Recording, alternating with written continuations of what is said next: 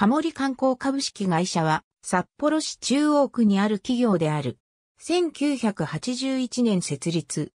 前身は、か、森勝夫が、登別温泉において、第三セクターによる、登別温泉ケーブルを建設し、ロープウェイの山頂に、登別、熊牧場を造成したことに始まる。しかし、登別温泉ケーブル周辺は、国有地だったため資産性に乏しかったことから、札幌でのビル経営も行う中で、ロープウェイ経営のノウハウを活かしたスキー場経営を構想する。その後、冬場の収入源を確保するために、カモリ観光を設立し、ヤマトルススキー場として営業していた施設を買収。入園料を支払えば遊園地内の乗り物や遊具が無料になる入園料方式を遊園地業界で初めて取り入れるなど、スキー場と宿泊施設のみであったルスツを通年型リゾートへと拡大していった。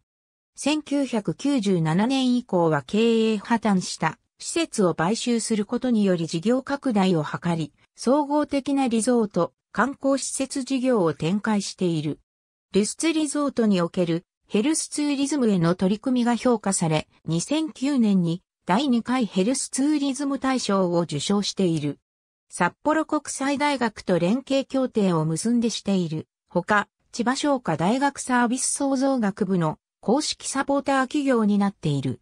2008年以降は保有している施設の閉鎖及び譲渡が相次いでいる。ありがとうございます。